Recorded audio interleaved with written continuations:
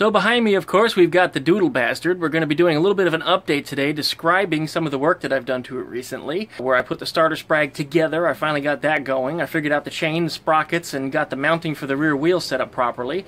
If you like these videos, guys, don't forget to subscribe. You know, click the little like button and the subscribe button. You need to stick with me and watch these videos. I'm going to be making very frequent updates over the next few weeks, and hopefully we'll have this thing up and riding soon.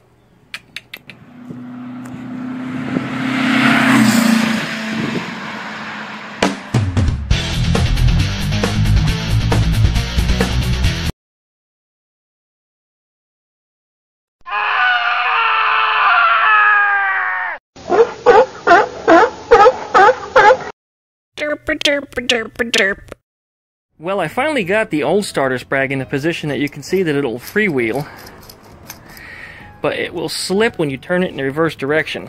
And I'm going to try to hold the camera in such a way that you guys can both see and listen to it. it just makes an awful nails on a chalkboard kind of sound. So let me just go ahead and prop this camera up here. I'm still using this stupid cell phone camera.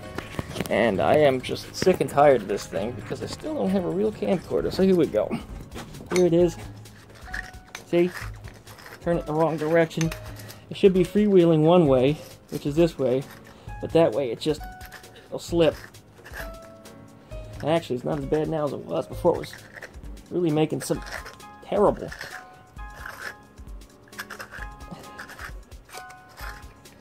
It was just like the joint of your knee with no cartilage. It was terrible, terrible sound coming from this thing. Anyway, that's crap. Here is the new starter sprag installed, and as I was telling you, the gear is supposed to freewheel in one direction. Now while that motor is turning, you notice how that gear is not, but when I drive the gear, the entire flywheel turns as well. So that's how the starter motor works. That way once the motor is running, the starter doesn't get pushed. There's no reason for the starter to be turning when the engine is already running. So anyway, we got that set up. I've got the 18 tooth sprocket on there along with my chain. Look at how close it was to the case. That's about the maximum tolerance that I would put onto this thing. I was thinking maybe I could even go up to a 19, but no, we're going to stop at an 18. Anything beyond 18 is going to require excessive grinding. On the back here, we have the sprocket, which came off of a uh, Suzuki four-wheeler from the 80s. I forget what it was exactly. But the chain that's on here, I think was a 428. It's adjusted to proper tension right now. The rear wheel mount was not intended to be adjusted. It was permanent. There's supposed to be a uh, chain tensioner which attaches to this little tang over here that uh, caused the chain to be pushed up or down. I don't remember what, but that doesn't matter anymore because we're not using it. I thought about putting a chain tensioner here to hold it up, but uh, what I wound up doing was I just elongated the holes slightly inside of here by not much, about an eighth of an inch, to get it to the appropriate tension that I needed it to. And I had a set of uh, moped adjusters from a Puch moped and yeah, I know you guys are going to get on me about saying Puch, but I don't give a shit how you say it. I say Puch, and Puch is how it's going to be. So these parts are actually made in Austria, while the rest of the bike is all Chinese. I find that to be pretty damn funny. This is probably going to be the last part that fails on the bike. Everything else will go wrong first. Oh, except for this plate. This sprocket adapter here was made in America by the one and only Abom. If you know Abom, you guys should subscribe to his channel. He does excellent, excellent machine work here in Pensacola. And uh, this is actually the reason why I met him. I met him because of the starter sprag years and years ago. I wanted to have him make these bearings for me to put this thing together. Instead, what we wound up doing is he wound up making me a, uh, a sprocket adapter. So that's good to go. This is uh, coming together. I'm quite pleased with, again, what's going on here. I'm going to finish assembling this motor, and then I'm going to go ahead and hit the starter and make sure that the engine turns over like it's supposed to. And if that's good, then we can proceed to the next part, which is um, getting a little bit of preliminary wiring going on this thing and see if we can get it to fire up. Oh, one more thing, the adjuster. You see it comes out next to the frame here. What I'm going to do is I'm going to get a little little piece of pipe or something that's not much bigger than the diameter of this bolt. And I'm going to weld that to the frame and tighten my nut up against it. And that is what will allow the wheel to be pulled back to the appropriate spot. Yeah, I'm happy. This is good. This is good. I'm going to have to mount the battery probably up here as close as I can get it to the frame, I think. Somewhere up in that area. I do have a fender that goes on here as well. Once I get the fender figured out, then I'll build a little battery shelf and get that going in there too.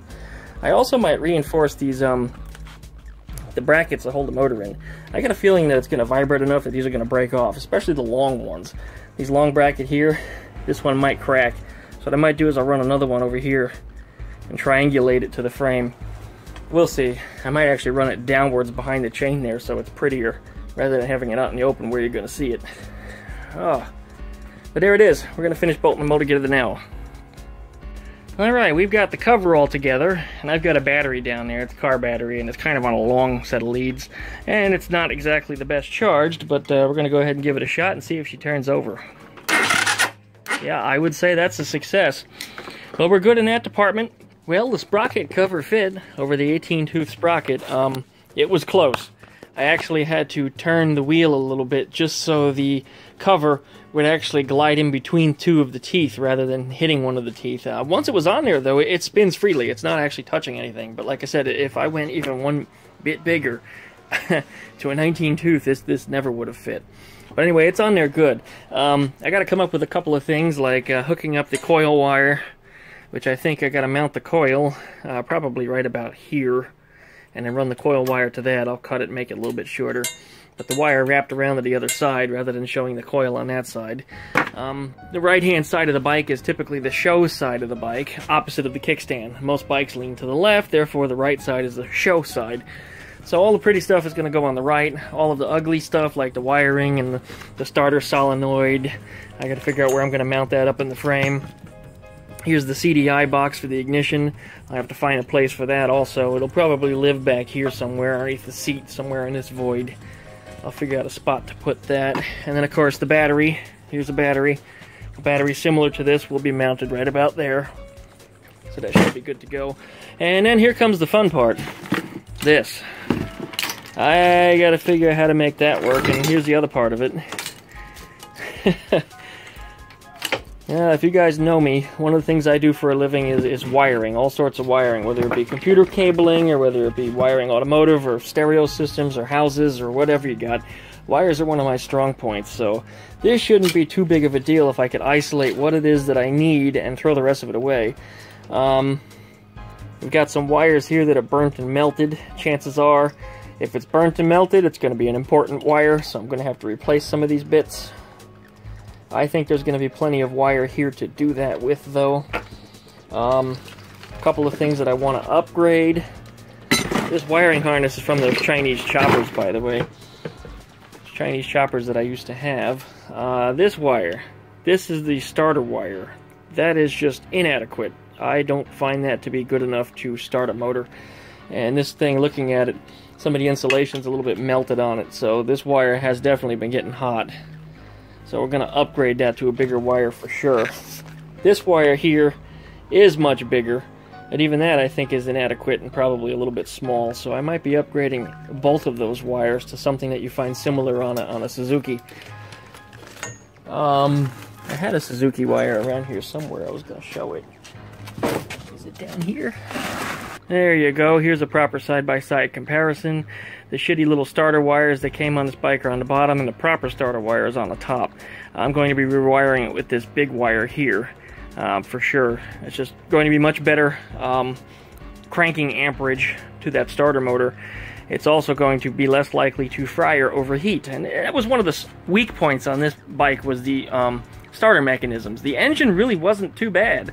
The starter sprag was a piece of crap, and the starter mechanism itself, the kickstarter on the other side, I think was just weak. So if you used it excessively or in the wrong way or you kicked against the compression like an idiot or some other shit, you'll strip it out. And that's one of the problems this motor had also.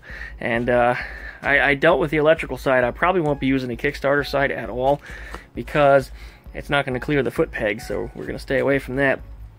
But I'll get these wires upgraded and uh, this should suit it just fine. I think it'll be good after that. I got the tabs welded on for the voltage regulator and the tabs for the coil.